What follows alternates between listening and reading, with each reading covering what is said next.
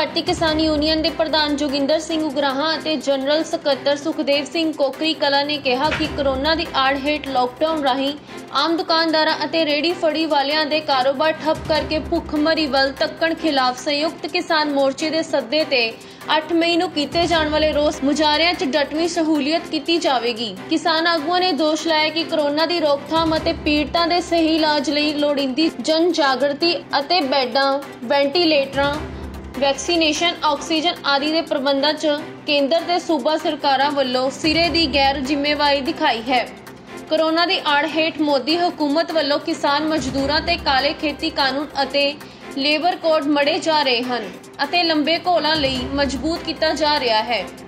Lockdown ਵਿਰੁੱਧ ਸੰਘਰਸ਼ ਦੀ ਹਮਾਇਤ ਰਾਹੀਂ ਏਕਤਾ ਅਤੇ ਪਸਾਰੇ ਦੀ ਇਸ ਮੁਹਿੰਮ ਨੂੰ ਹੋਰ ਮਜ਼ਬੂਤ ਕੀਤਾ ਜਾਵੇਗਾ। ਕਿਸਾਨ ਆਗੂਆਂ ਵੱਲੋਂ ਆਉਂਦੇ ਦਿਨਾਂ ਵਿੱਚ ਕੇਂਦਰ ਹਕੂਮਤ ਵਿਰੁੱਧ ਜਨਤਕ ਦਬਾਅ ਹੋਰ ਵਧਾਉਣ ਲਈ ਸੰਯੁਕਤ ਕਿਸਾਨ ਮੋਰਚੇ ਦੇ ਸੱਦਿਆਂ ਨੂੰ ਲਾਗੂ ਕਰਦੇ ਹੋਏ ਕਰੋਨਾ ਸਾਵਧਾਨੀਆਂ ਦਾ ਧਿਆਨ ਰੱਖਦਿਆਂ